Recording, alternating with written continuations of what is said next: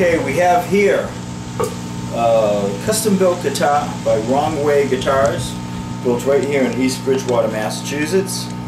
And um, what we have here is a pine body, Tele style guitar, with a flame maple neck, with a rosewood center, and we have locking tuners on it.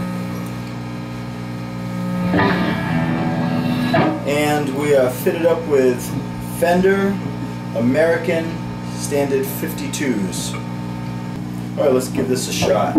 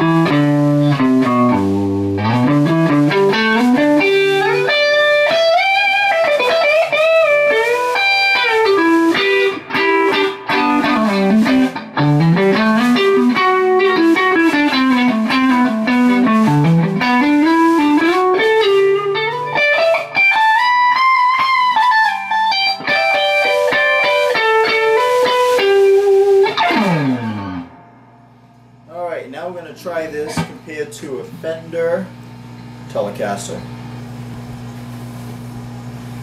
I'm going to start in the neck position, I mean the uh, bridge position.